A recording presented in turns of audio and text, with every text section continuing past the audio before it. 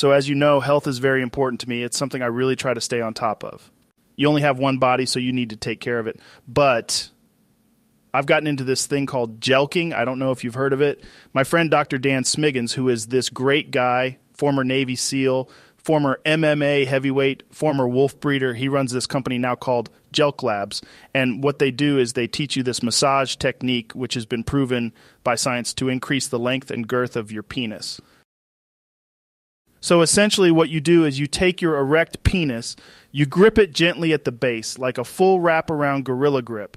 Then you squeeze softly and move up along your shaft towards the very tip of your penis. Jamie, pull up a video of this so he can understand what I'm talking about. But basically, what this does is it forces blood to flow through and expand the cellular walls of your penis, which over time helps to increase the size and girth of it.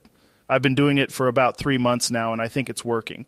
I feel smarter, I feel stronger, my cock feels bigger. I mean, this is the real deal, and it's backed by science. They said Theodore Roosevelt used to do this as part of his morning routine, so people have known about this for a while. Archaeologists think it originated in either ancient Sumerian cultures or somewhere in eastern Ohio.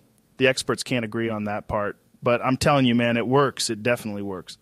So, yeah, if you go to jelqlabs.com, you can sign up for their program. They have this platinum tier version of the program where Dr. Smiggins will show up and show you how to do it. The whole thing is great. Definitely something I recommend everyone try if they want to be able to perform at an elite level.